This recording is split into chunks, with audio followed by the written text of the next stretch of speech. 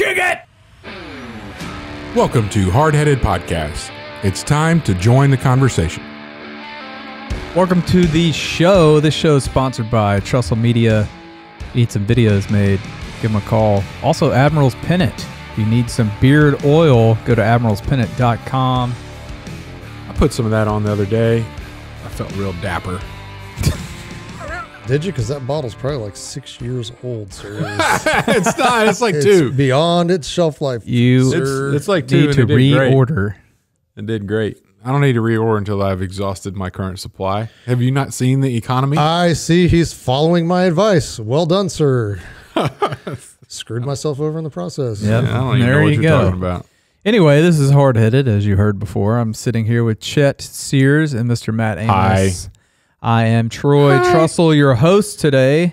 I'm Matt. Today we're going to talk about what's on Matt's mind, but first, or actually, but next, I'm going to tell you the other two things we're going to talk about. That's a good job, man. Yeah. We've only been doing this for like 100 and some odd episodes. I know. I can I get it wrong every time. I believe this is uh, 128. we're going Alright. to talk about top 3 cuts of steak and we're going to hear a good word from Chet, but first, Matt, Now, what is it? What's on your mind first. now?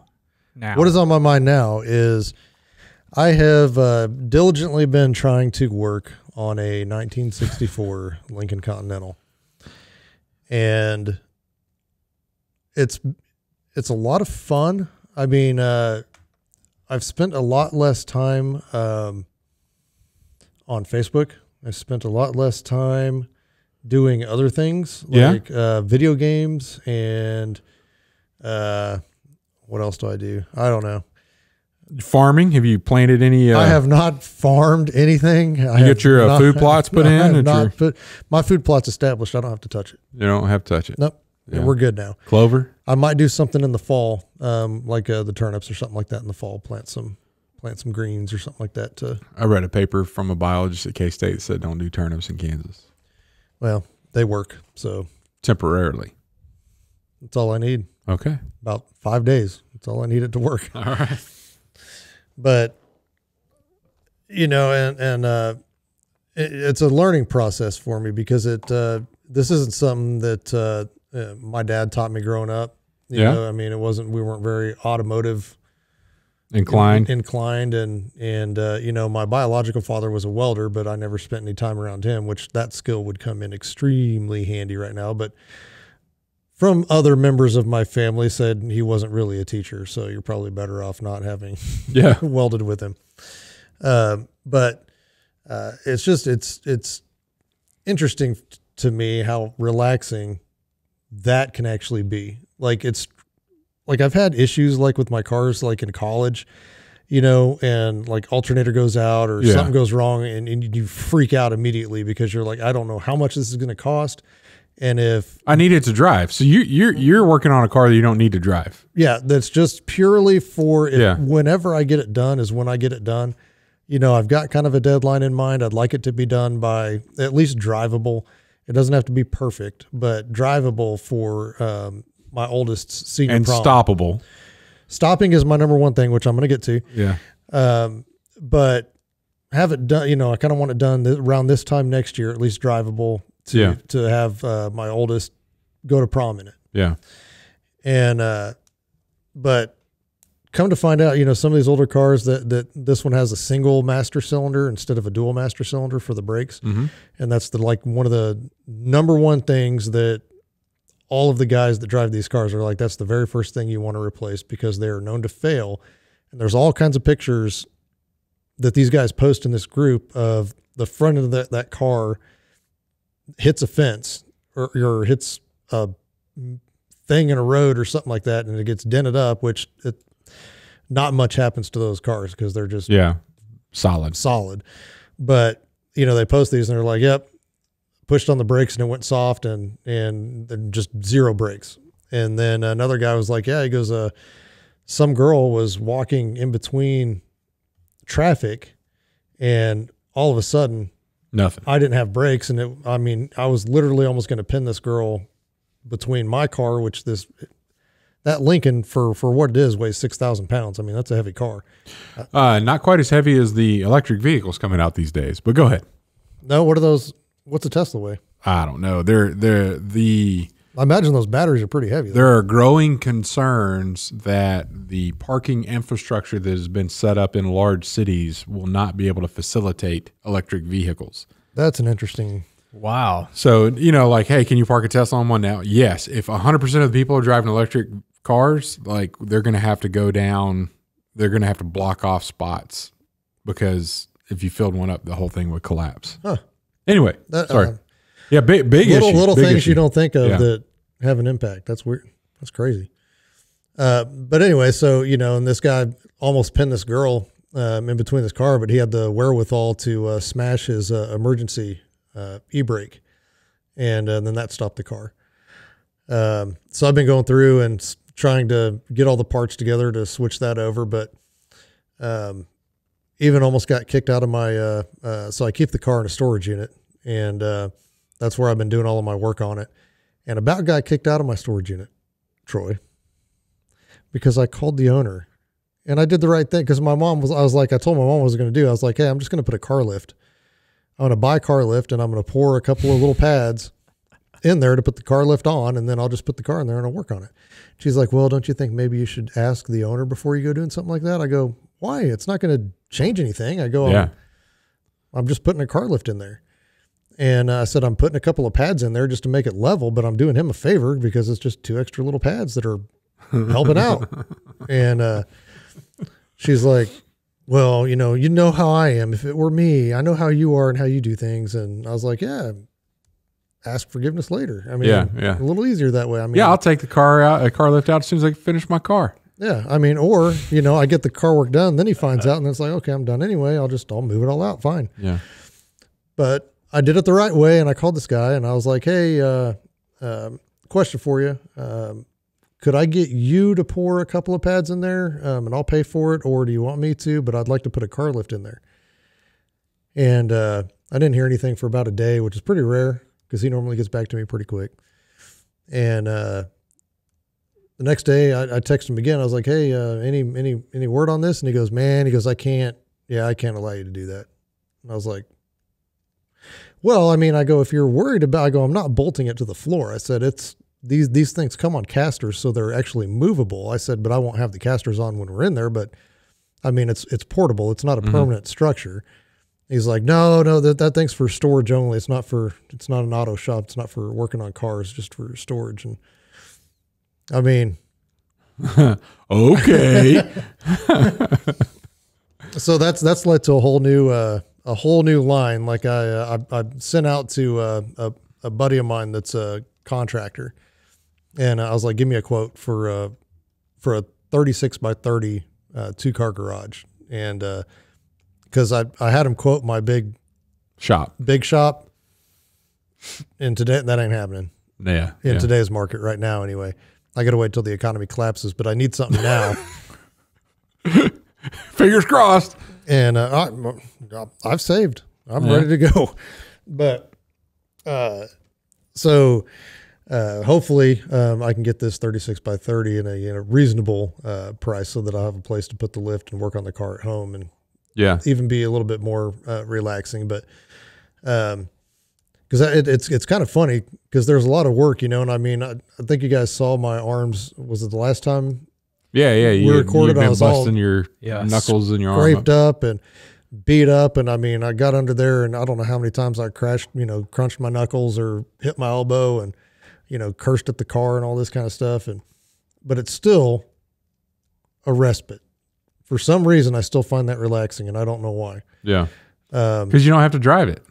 Well, yeah, but it's just it's fun to to tinker on and like learn things that I didn't, you know, like how syst, you know, because I, I I have a basic knowledge of, you know, automotives and cars and stuff like that. But it was, you know, these cars are crazy. The amount of techno one, the amount of technology that was available in 1964. That They were sending people to the moon back then. right, man. but we just didn't think about, you know, Yeah. we we think it's so long ago, you know. But I mean, I got power seats and power windows and power, you know, well, Yeah. vacuum system locks. But I mean, crazy yeah. that the amount of the amount of adjustability in the seat Mhm. is the same as my F three fifty is right now.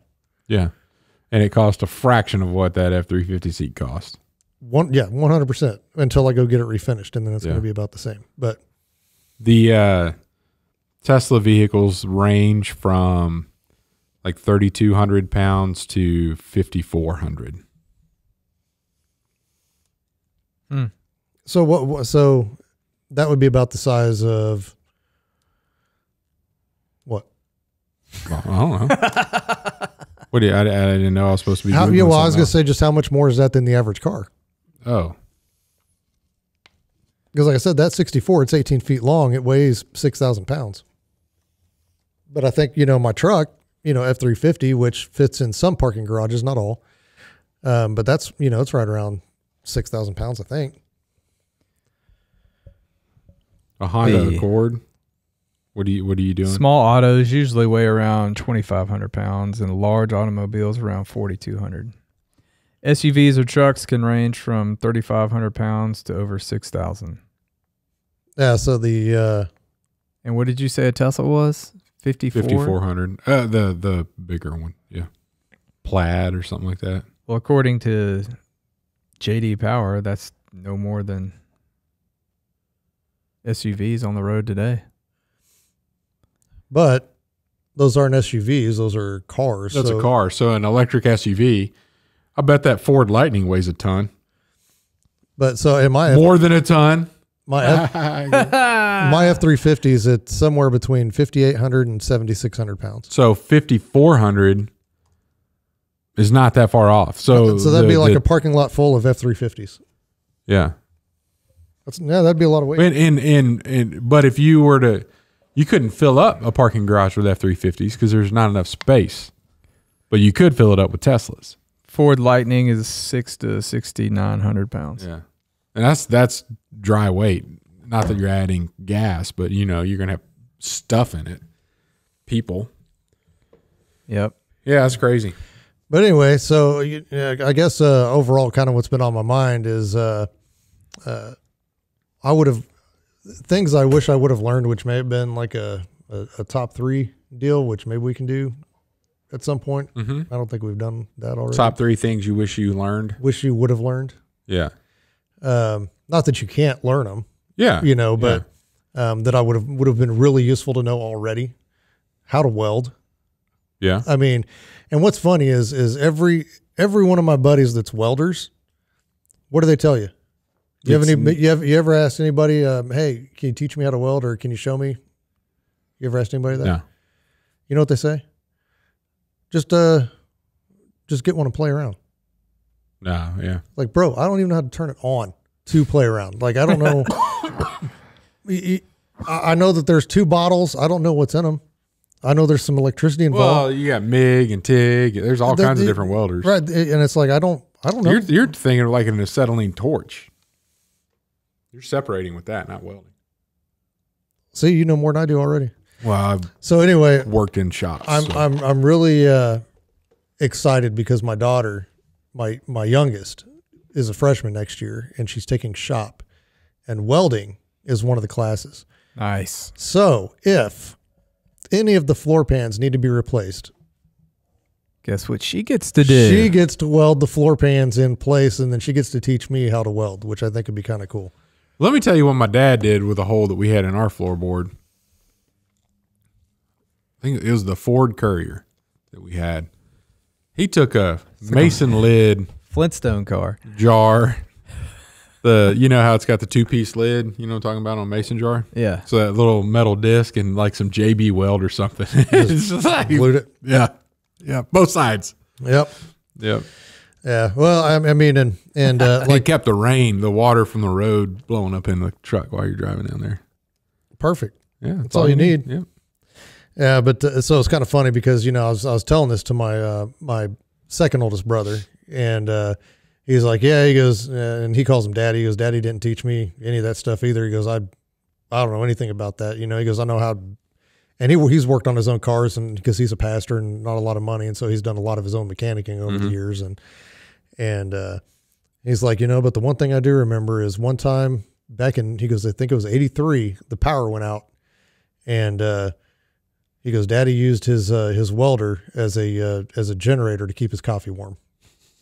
And he goes, but that's that's about the only. Yeah. I was like, well, he he definitely he was a boiler maker, so he knew Yeah. he knew welding in and out. But Nice. just some of those things I wished I would have learned, you know, a little bit more about uh, um, welding and metal work and stuff because I think it's just so interesting and I'm I'm attracted to it. So it's ingrained Right. it's ingrained in me genetically, I think, to to want to do something like that. And I think it's something I could be good at if I could learn. Um, but like I said, everybody's like, just go play around. Like, no, I don't. That's not how my brain works. I don't just play around with.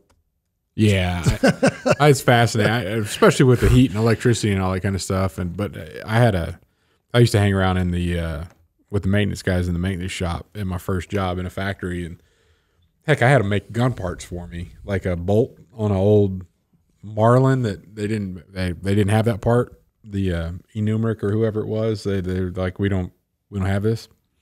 So I showed him a picture of it, and he's like, "Oh yeah, I think I could turn that," you know. And he got some scrap metal, and it goes back there, and just some really cool stuff like that. Well, I mean, it's just like when uh, you know Big Al when he uh, um built my motorcycle. I mean, I was there for a majority of that process, and just to watch him create. I mean, it, it's part artistry when you're when you're doing that stuff, but to see him just like take a piece of cardboard, go, oh man, this would be a really cool shape here. You know, you got to have the vision, you know, unless it's already built like this car, you know, and then you can just you already know what you're doing, but.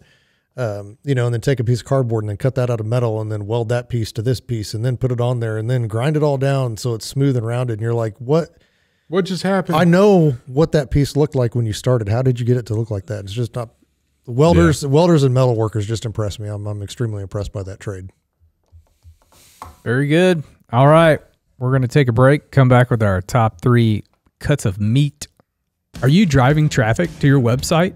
Do you have an engaging homepage? Better yet, does your homepage have a video? We recently created a video for a client about his business and the services they provide. Since he placed the video on the homepage of their website, he has had a number of clients specifically say they decided to use his services because of that video. At Trussell Media, we help businesses create engaging videos to host on their websites, email to clients, and use in their social media marketing. Contact us if you're interested in creating a video for your homepage today. TrussellMedia.com. Fill out the form at TrussellMedia.com slash contact. Let us help you tell your story through video. and we're back. All right, we're back. Before we get into our top three Cuts of steak. cuts of steak, just want to apologize to all of our listeners out there for past few episodes and Matt's poop mouth. What?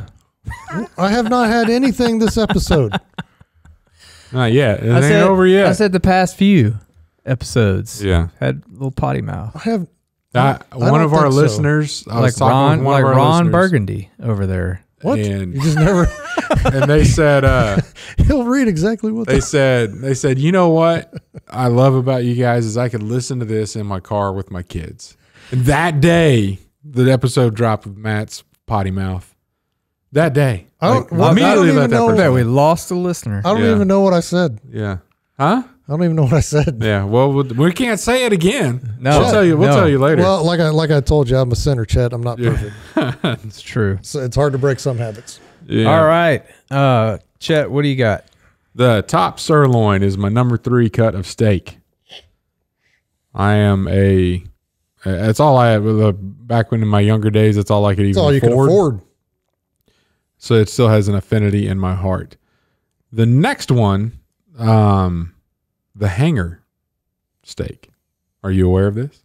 I know about the hanger. I don't know where. You know about the Where- skirt where the- steak? I know. Oh, I know all about a skirt steak because that's what you Oh, use for yeah. carne asada. So the skirt is uh, like p- part of kind of the edge of what the hanger is. It's a little bit more in the middle of the diaphragm.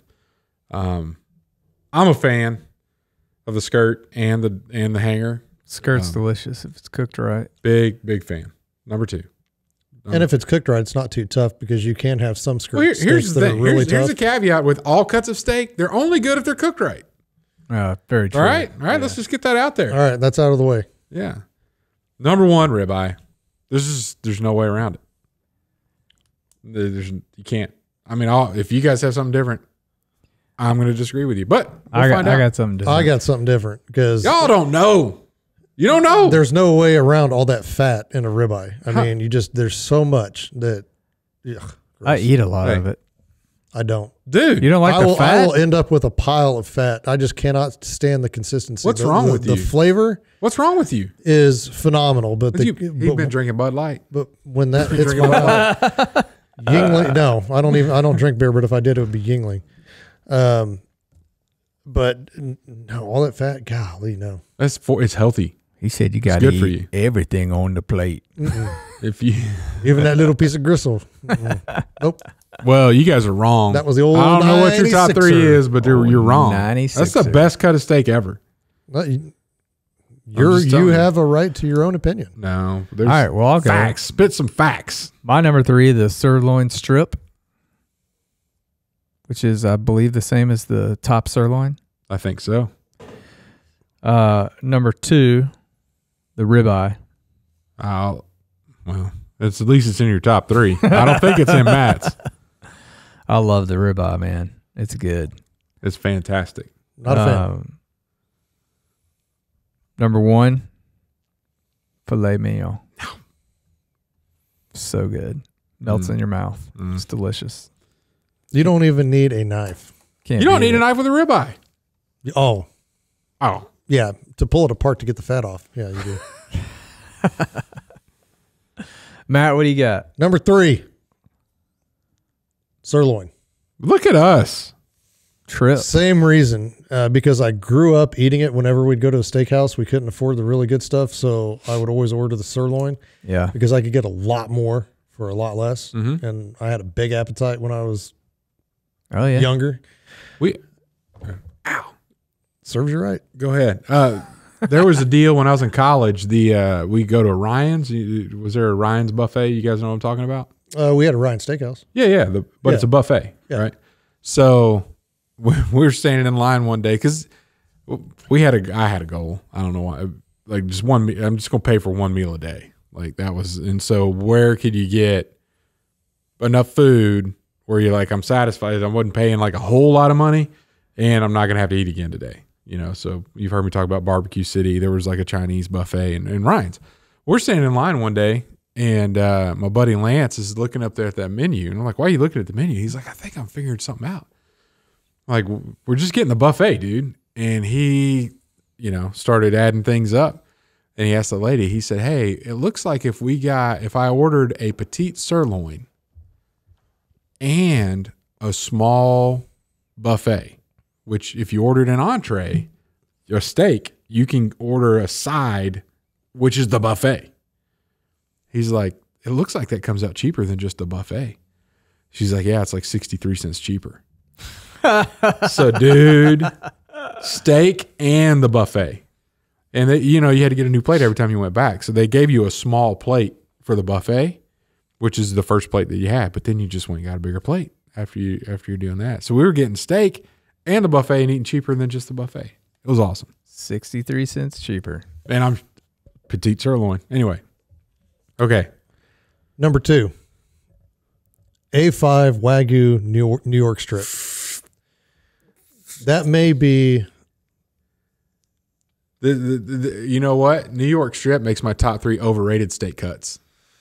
It, it used it used to make mine. Until it was wagyu. Yes. Yeah. That that may and that was one of those steaks um, that uh, we went and bought at a uh, at a butcher shop, and then we brought back uh, to the house when I was in Kentucky, and uh, pre- Josh prepared it because Mhm. he does a phenomenal job on steaks. That was the richest steak that I've ever had Why? Why are they so good? because it's marbled well, not just That's the, the fat. I could hear you grinning. It's because Not- it's got fat. but not globs of fat, not just globs. Not like a ribeye, apparently. no, definitely You want not to like a genetically ribeye. engineer the cow to have ribeye fat in all of its muscle fibers. That's that's all they did. I said the flavor of that was awesome, but it's just the consistency. yeah, This solves it, yeah. and so rich that I couldn't. I, I mean, and I felt bad. I was like, I cannot eat this whole thing because it's it's that rich, and so I had it next morning with eggs. Yeah, But uh, like we did those moose steaks that time. yeah, same Yeah. thing. And then uh, number one, bacon wrap fillet. What? Why do you have to have bacon on a fillet? I just like the flavor of bacon Because they're to it. dry. No, that's no, why. no, they don't have not- enough fat. No, not necessarily. They don't have. They, I don't like the bacon wrap. I like a regular filet mignon. No, I, I like I like the bacon in there just because it adds that uh, like that bacon flavor to it. I just I don't I don't Yeah, because like you need it because it's not that good of a cut of meat. No, it doesn't need it. It- Doesn't need it's the just like. A one. I I love a one. delish- it's It just adds without to it. Dude, Thicker I the saw better. somebody marinate no their smoking wood chips in A1 the other day. And I was like, I bet that's good. The I'll have to A- try like that. an A1 smoke. I have to try that. Yeah, I bet that. Man, I, I saw that. I was like, oh, that's pretty good. Here, here's here's here's two reasons. Now, do you know the reason why um, they created A one? No. Back in the day, it was to cover the taste of rancid meat. Oh, okay. So, you, could- but you still ate it. Yeah. Yeah, so they could still, you know, it wasn't like it to the point it was going to kill you, but it was to cover the smell because they didn't have a place to refrigerate their food. So Well, my thing with wagyu and mignon, you shouldn't have you shouldn't have names that people can't pronounce on your marketable meat. So that's another strike against both of the, your suggestions. Filet mignon. yeah, mignon. you said mignon. Some people would say mignon, and wagyu or wagyu or wagyu. Wagyu. You know, huh? Psh, I'm not even gonna order it. I don't want to hear it. Well, see, Because I- here, Get here, that stuff out of The there. the other day, I was I bribed my girls to get ready for something. You know, like it was like a Saturday. I'm like, yeah. And if you get up early, we they had to do something. I'll go and get you a drink. You know, at the coffee shop or whatever while you're getting ready. They're like, and they did it, and I'm like, oh crap! Now I got to go get them a drink. So I went to a place and I ordered a caramel, uh, whatever. caramel. Yeah, and they they corrected me in the drive. Do you mean caramel? Whoa! I'm like, no, I don't. I would have left It's caramel. and I would stare that person in the face and say, I will never buy from you again. like I did with Nola's Pizza. That's right. That you don't. It's wrong. Number one. Number two. number two. Just let it be. You don't need to correct me on that. It's caramel. These people around here, the Midwest, nice, whatever. They're not perfect yet. Yeah. Now, is it uh, pecan or pecan? Pecan. Pecan. Pecan. No, Whatever. whatever. Yeah, you just picked whatever we weren't going to say. You're trying to stir the pot. All right. Well, that was good. Any honorable mentions? Prime rib anywhere? No. No. Uh, I I did a prime rib for uh, Christmas and it was pretty good, but it, it's They're hit or miss and they're always too expensive. very expensive. Yeah. So I do like a good prime rib though. Now the uh, now when I was really poor, like on my own poor, the uh, hamburger steak, There's a burger patty, pretty much. onion on top. You put some onion on that thing. But it was good because I used to have that Yeah. at Doc's Steakhouse, and if you guys had ever eaten at Doc's and had the garlic salad at Doc's, oh, I would soak those patties $6.99. in Worcestershire sauce and butter. Mm, Worcestershire. Worcestershire. What is Worcestershire. said Worcestershire? something about wash your sister sauce. Oh yeah. Watch, watch your sister sauce. I've heard that. Yeah. Yeah. I bet you guys have. Watch Uh, your. Shut up. All right. All right. Good word, Chet. What do you got for us? So um, there's this dude I watch on YouTube. Eh, His name's Sean Ryan. You know who I'm talking about? I do not. He was a former Navy SEAL and a former employee of the CIA, according to his bio. And he lands some pretty good candidates for interviews. And he's only he hadn't been out there that long. Like it's a podcast, but it's only on YouTube. He's got over a million followers. He's very good, similar to Rogan in the fact that he'll ask a question and then be quiet for like 10 minutes and let that person just talk and tell stories. And some of the people that served with people that we know have been on there. And that's, that's one of those guys I had, uh, I had, uh, that's how I found this guy. Well, anyway, very calm guy, very, you know, and so I'm on, uh, I'm on the internet the other day on Twitter and, um, he live tweet. This is just a fascinating thing. I'm going to read you a couple of his tweets, and these are over the course of a two day two day span. And it's just this is fascinating, and this this comes from, and so the word the good word is hope, and this is not hope at first. He said, uh, he said today I'm going to try church for the first time in many years. I've never taken it seriously. This time I will. I hope to see some of you there. I've reached a cycle. Is another tweet. I've reached a psychological state where I realized I had nothing to lose but the darkest of negativity.